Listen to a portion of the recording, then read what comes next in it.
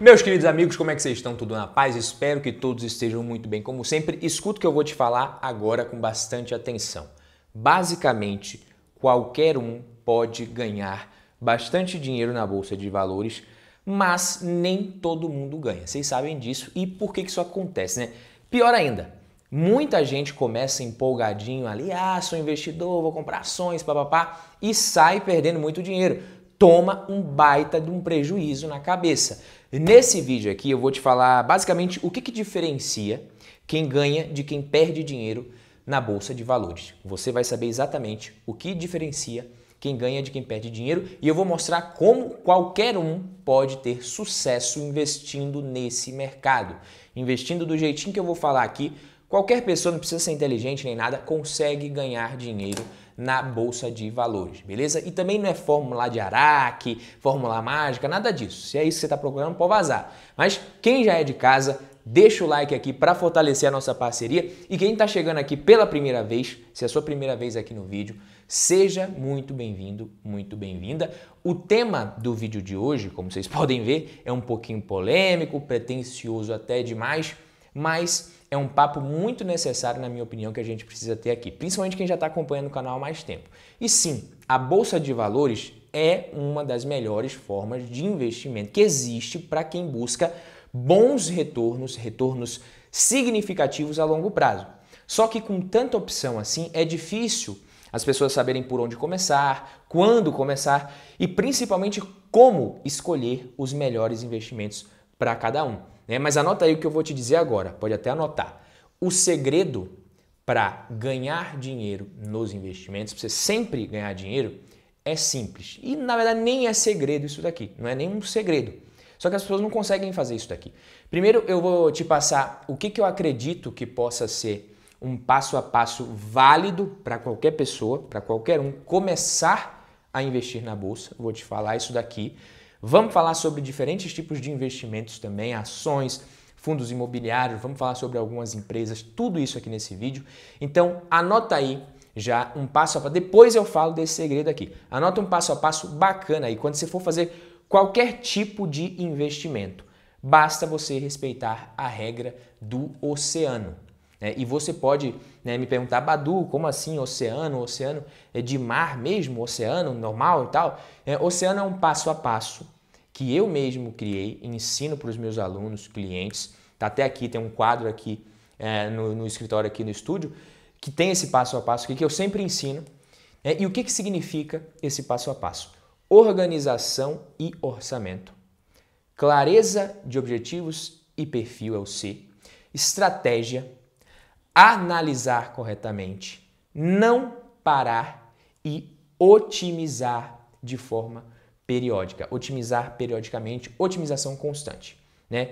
Onde que a grande maioria dos investidores erra. Eu já errei, você provavelmente já errou, se você já investe há bastante tempo, ou você vai errar também. Né? Eu vou te contar já já o que é isso. Mas se você acertar esse detalhe, esse parafuso aqui, você praticamente garante o seu sucesso na bolsa de valores e você pode confiar no que eu estou te falando. Mas antes, né, eu vou te falar como que o Badu de hoje, como que eu aconselharia o Badu de 8, 10 anos atrás a começar. Tá? É claro, se eu fosse começar hoje, perdesse tudo que eu tenho, fosse começar do zero, com todo o conhecimento, eu começaria talvez diferente. Mas se eu fosse aconselhar o Badu de 10 anos atrás, que não sabia porra nenhuma, que achava que fundos imobiliários era pirâmide, o que que eu faria? O que que eu falaria? O que que eu aconselharia? Como que eu diria para ele começar? E eu diria o seguinte: tenha dinheiro em renda fixa. Tenha uma grana legal na renda fixa e comece aos poucos. Mesmo você quer começar a investir em renda variável, ações, fundos imobiliários, beleza, é ótimo, mas tenha muito dinheiro, tenha, tenha a maior parte do seu dinheiro em renda fixa pós-fixada. Isso garante segurança. Você não sabe, você não está acostumado com volatilidade ainda, você nem se conhece direito, você não sabe qual é o seu perfil. Então comece aos poucos Vá começando na renda variável aos poucos, mas tenha a maior parte do seu dinheiro em renda fixa. Então, se você já tem muita grana, não coloca, não pega tudo assim, ah, eu vou, agora eu vou pegar aqui tudo que eu tenho e vou dividir em ações, fundos imobiliários, blá, blá. não faça isso. Senão você vai se lascar. Provavelmente você vai se dar muito mal. Agora, se você vai começar do zero, aí tudo bem, porque começando do zero, principalmente com aportes pequenos, né, dificilmente você vai sentir essa dor muito grande que pessoas que têm já um patrimônio relevante em renda fixa e descobre esse mundo maravilhoso de renda variável, coloca tudo. Isso aqui já é o primeiro pra, passo para se dar mal. Então comece aos poucos e tenha né, bastante em renda fixa e vá fazendo essa transição aos poucos. E aí quando você for começar, começa por fundos imobiliários e ações pagadoras de dividendos. Por quê? Porque aqui você está comprando um ativo pelo que ele já é. Essa empresa sólida, pagadora de dividendos com bom histórico, que também não vai crescer muito mais, você já sabe qual que é o resultado que ela vai te dar ali, o feijão com arroz, vai te pagar dividendos, não vai da noite para o dia triplicar de tamanho, multiplicar 5, 6 vezes, 3 vezes que seja, não vai. Não é isso que vai acontecer, só que o risco dessas empresas é muito maior. E quando você investe em um fundo imobiliário, por exemplo, um fundo de tijolo, você está investindo em imóveis, está comprando ali participação em imóveis que já existem, que tem é, inquilinos, que tem gente pagando aluguel sempre. Então você não tem um potencial de retorno muito alto, mas o seu risco é muito menor. A volatilidade, por exemplo, dos fundos imobiliários é cerca de um terço das ações, do mercado de ações, da média do mercado de ações. Não estou nem falando das ações de dividendos, que tem uma volatilidade até um pouquinho menor do que a média também. Então comece por esse tipo de investimento. Sempre que alguém não sabe de nada e quer começar em renda variável, eu falo, começa aos pouquinhos por fundos imobiliários. Ah, Badu, eu já invisto há muito tempo, não gosto de fundos imobiliários. Beleza, tudo bem que você não gosta. Se você não gosta, se você já tem experiência e não quer investir, tudo bem. Mas quem está começando não tem essa experiência talvez que você tenha. Não tem, talvez não, não tem mesmo. Então começa ali, ah, se futuramente daqui dois, três anos você vê, ó, fundo imobiliário não é muito, a minha, a minha, filosofia é um pouco mais arrojada, eu gosto mais de ações, a parcela mais segura, eu prefiro deixar em renda fixa mesmo, pelo menos eu tenho mais liquidez, mais segurança, tudo bem. Mas no começo em renda variável, para você aprender, começa por fundos imobiliários e ações mais seguras, pagadoras de dividendos. É muito mais fácil de você também não cometer o erro de pagar caro demais, às vezes, no ativo, e às vezes você vende também pelo medo de se desvalorizar demais quando começa a cair ali, a volatilidade é menor. Então você tem ações do setor elétrico, ações do setor bancário, seguradoras, é, você tem Energias do Brasil, Taesa, que é uma empresa pagadora de dividendos, uma das empresas mais seguras da Bolsa, Alupar, aí você vai, Banco do Brasil e tal. São ações, são empresas que não vão te dar um retorno estratosférico, mas o seu risco é muito menor. E você tem fundos imobiliários de tijolo, até mesmo os fundos imobiliários de papel. São ativos menos arriscados do que a média ali quando você vai né, para empresas que são muito mais arriscadas na bolsa de valores e muita gente começa por isso daí e acaba se ferrando. Então começaria por isso daqui. Depois você já pode estudar um pouquinho ali as ações de crescimento moderado. Né? Esse aqui é o número 2. Aí, pô, você já tem a sua carteira ali, a base montada, você vai dando uma paquerada ali em umas ações que tem um crescimento moderado pela frente. Não, não é um crescimento muito alto, é projetado, o mercado não espera tanta coisa, é, mas são ações que podem crescer ou até mesmo ações de valor que são essas ações também, que não vão crescer tanto mais, mas que estão muito desvalorizadas, às vezes muito descontadas por causa de alguma coisa, algum fator ali que está afetando o preço delas no curto prazo, você pode achar uma oportunidade. Você vai ter um retorno maior nessas ações, mas o risco também é um pouquinho maior. Ah, o crescimento, quando ele é projetado, ele é um pouco maior também. O risco é maior. Então, depois que você já pegou um pouquinho de experiência, você vai para essas ações aqui, o número 2, por causa disso, justamente por causa desse risco maior.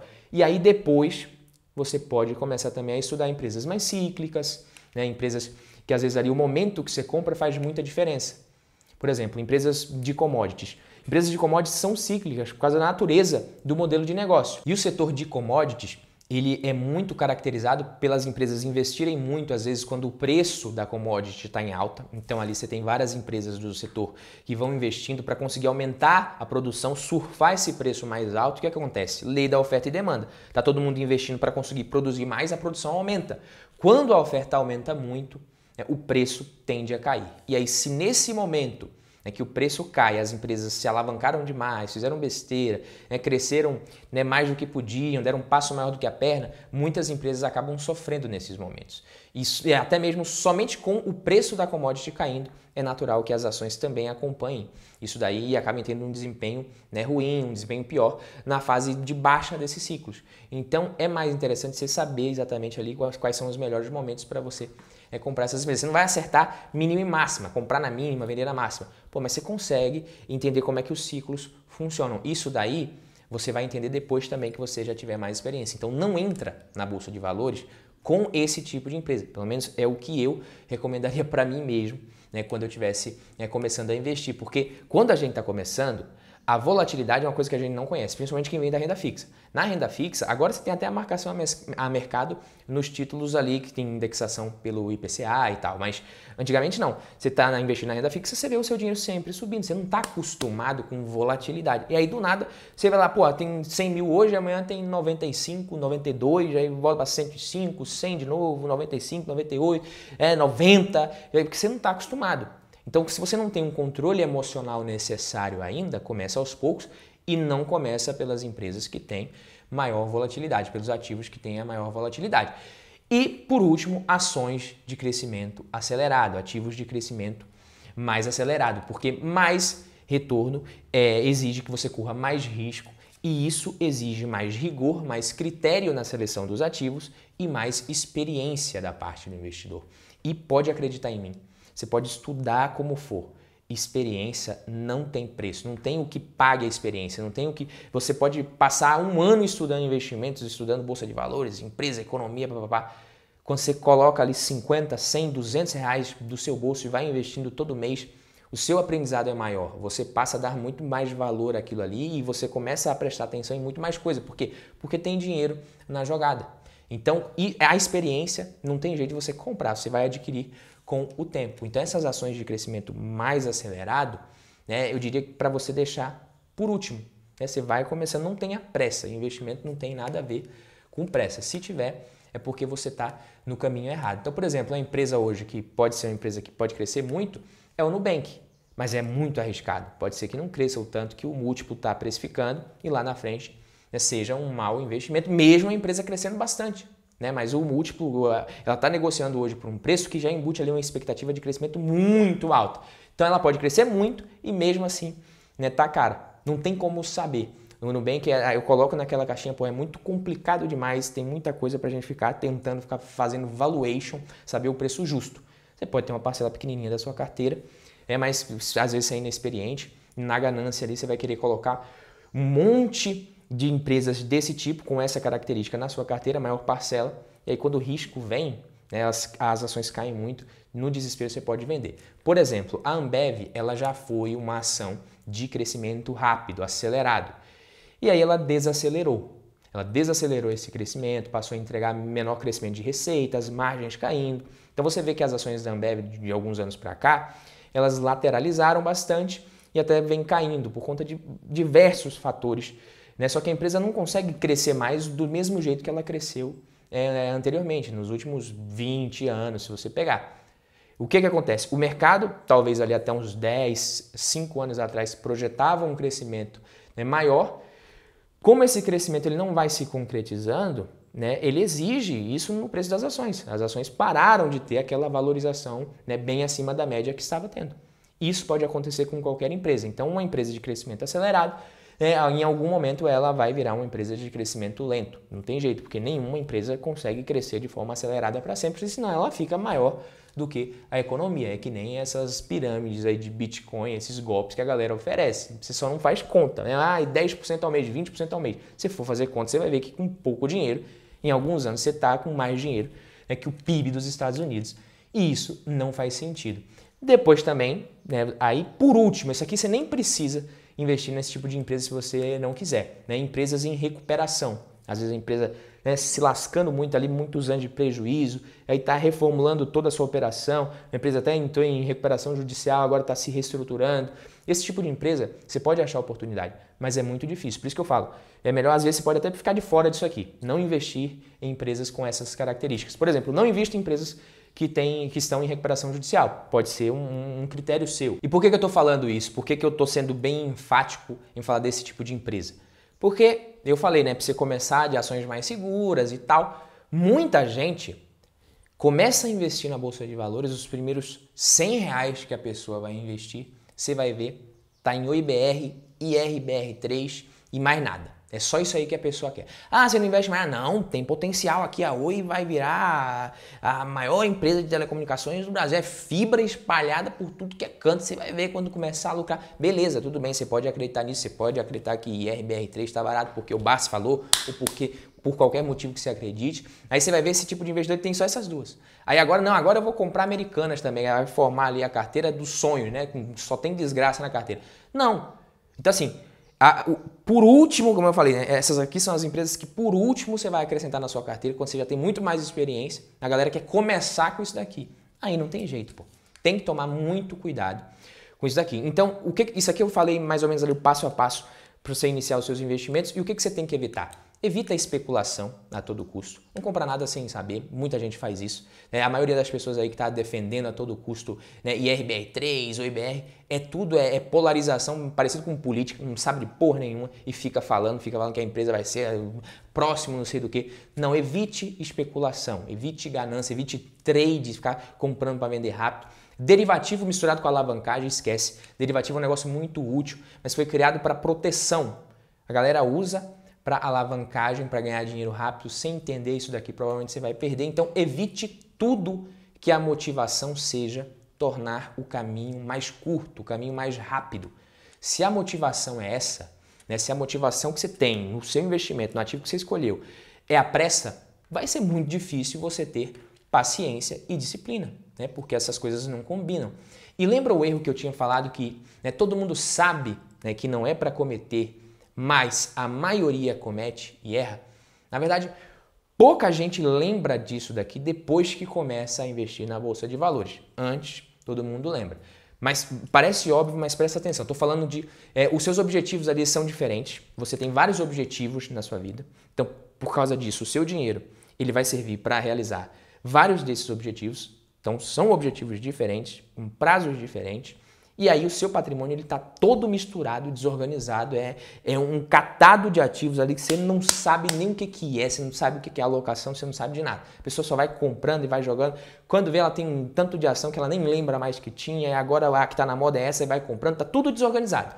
Mas os seus objetivos, eles continuam ali diferentes, para diferentes prazos. E aí o que acontece quando você precisa do dinheiro, você vai vender no prejuízo. Vamos supor que você vai para o supermercado né, com o objetivo de fazer uma feijoada, comprar ingredientes para fazer uma feijoada. Então, quando você chega lá, você compra tudo que precisa, leva para sua casa, chega na sua casa, você decide que você vai fazer lasanha. O que, que acontece nesse exato momento com todos esses ingredientes?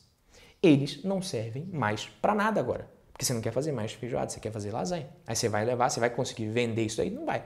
Ou você vai vender muito barato, ou você vai perder esses ingredientes, vai ter que voltar no supermercado e comprar os ingredientes né, para você fazer sua lasanha. Por quê? Porque o seu objetivo mudou. Às vezes você, porra, você tinha que ter decidido antes, né, com clareza ali, que o seu objetivo não era feijoada e sim a lasanha, para você não fazer essa besteira. E às vezes a pessoa entra na bolsa de valores, todo empolgado. Não, meu objetivo é tudo longo prazo. Eu não quero viajar mais, eu não quero estudar mais, eu não quero fazer porra nenhuma na vida, não quero né, comprar nada. É, tá tudo tranquilo aqui, não vou comprar nada. Eu, é tudo daqui a 30 anos. Aí vai investindo. Quando o objetivo chega, essa pessoa tem que fazer o quê? Ela tem que vender. Ah, a minha negócio é liberdade geográfica, né? Eu prefiro morar de aluguel e investir tudo em fundo imobiliário e beleza. Eu nunca vou querer comprar uma casa. Aí casa, a mulher fala: "Não, eu quero uma casa. Você não quer, problema é seu". E o cara baixa, bota a cabeça, é, o rabo entre as pernas, baixa a cabeça e faz o quê? Vende o patrimônio para dar entrada numa casa na baixa. Vende na baixa ali o, as ações, os ativos que ele tem para dar entrada. Por quê? Porque é assim, pô. Você, você, não, você tem que saber até que os seus objetivos podem mudar, mesmo que nesse momento você não enxergue aquilo como ideal para você. Por quê? Porque o contexto todo da sua vida pode mudar. Então, nunca desrespeite o seu perfil, o seu objetivo. Esse é um erro que todo mundo comete sem nem saber às vezes que está cometendo. A pessoa, ela investiu errado, ela fez o aporte errado e depois ela vai ter o prejuízo. Então não adianta. Na hora de fazer o aporte, na hora de escolher o seu investimento, você tem que realmente ter isso muito claro e respeitar. Pô. Se você sabe, teoricamente ali na teoria, como as coisas precisam ser feitas e você não faz e você faz outra, isso é irresponsabilidade. Então, por mais que seja bobo, é, esse negócio de respeitar o perfil e os objetivos, na hora de mandar o dinheiro para a corretora e comprar, as pessoas acabam esquecendo isso daí. É quando o mercado está muito alvoroçado ali, todo mundo com medo. A pessoa esquece que o objetivo dela de aposentadoria é de 30 anos e fala: ah, não, eu vou colocar é, na renda fixa mesmo, porque está caindo e vai continuar caindo para sempre. Não vai, gente. E ali quando está subindo para caramba, muita gente às vezes acaba também esquecendo dos objetivos de curto e médio prazo, vai socando tudo em renda variável, tudo em ativo de risco.